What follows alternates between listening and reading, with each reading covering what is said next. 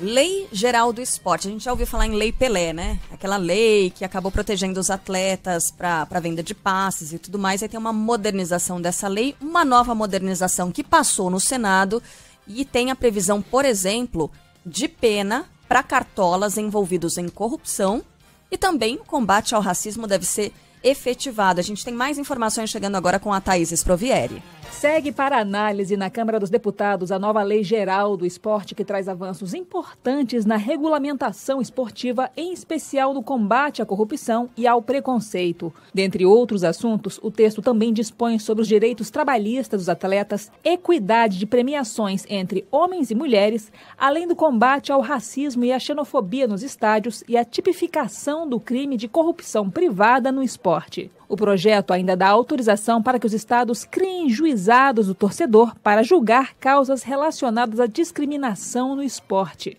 O PL também prevê que os atletas passem a ter liberdade de expressão, vedando a imposição de punições disciplinares por causa de manifestação de pensamento de jogadores, técnicos e dirigentes. A proposta ainda permitirá que pessoas ou empresas possam aplicar no esporte parcelas do imposto de renda, como doações ou patrocínios, limitadas ao máximo de 7% para pessoas físicas e de 3% para empresas. A Câmara já havia instalado uma comissão especial com o intuito de modernizar a lei. E agora esta comissão deve dar sequência aos trabalhos antes da matéria ser levada ao plenário.